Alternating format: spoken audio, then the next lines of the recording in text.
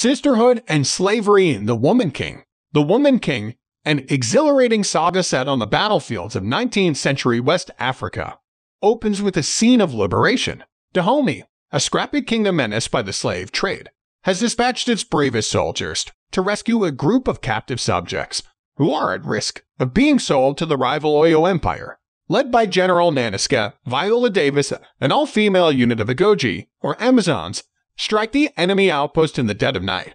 Rising from the tall grass with blades drawn, they quickly cut their opponents to pieces. Nanisca, in a cowrie-studded breastplate, slits the throat of a man who denies taking slaves. Victorious, they return to Dahomey, where grateful crowds meet them at the city gates. Civilians are forbidden to look upon the warriors, who are officially the king's wives, but when a little boy peeks, the coolly swaggering Izogie, Lashana Lynch rewards him with a smile. You'd better believe it, she seems to be saying a message equally directed at the audience. Much of the hype around The Woman King, which premieres Friday, has focused on the obstacles to making it. The actor Maria Bello, who wrote the story with Dana Stevens, pitched the idea to Davis seven years ago, easily persuading the Hollywood titan to produce, champion, and star in the project.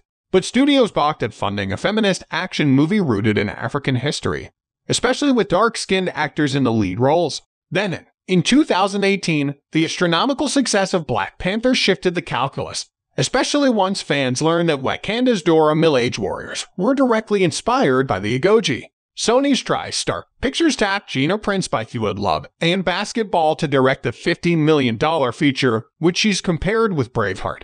For her and her collaborators, the battle isn't just for Dahomey's freedom, but the future of equity in cinema. If you don't come to see it, then you're sending a message that black women can't lead the box office globally, Davis said last week.